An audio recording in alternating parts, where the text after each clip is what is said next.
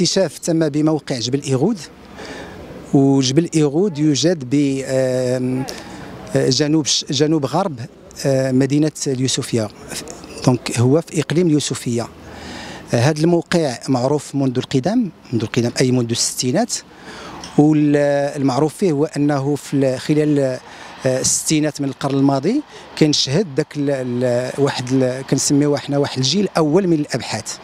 هذا الجيل الأول أدى واحد الدور مهم مهم مهم بزاف لأنه اولا بالنسبة كانت واحد مجموعة ديال ديال البقايا البقايا العظمية اللي تعود من خلال مورفولوجيتها إلى القديمه معروفة أنها قد تعود إلى القدم آلاف السنين.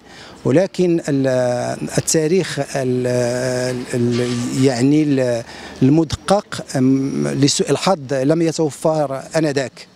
المعطى الثاني ك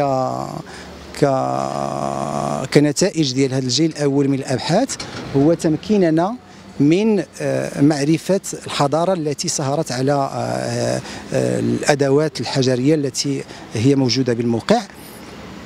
وهذه الحضارة تنتسب إلى منذ ذاك التاريخ تم نسبها إلى le Stone Age donc هادو هما جوج المعطيات اللي كانوا بالنسبة للجيل الأول.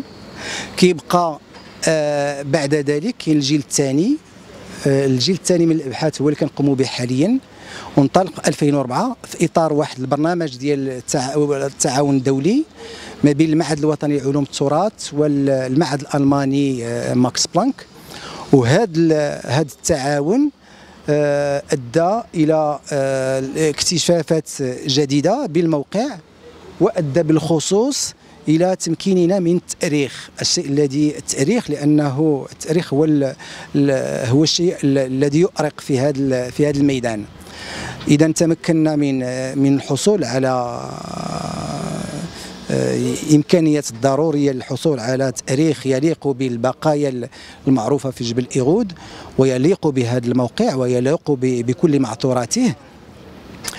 آه هذا التاريخ هو اللي تم الإعلان عن الإعلان عليه من خلال واحد النشرة علميه في واحد المنبر عالمي اللي هو لا غوفي ناتشر في هذا لا غوفي ناتشر لأن هي آه, آه، من المستوى آه، السوى العلمي آه، العالمي.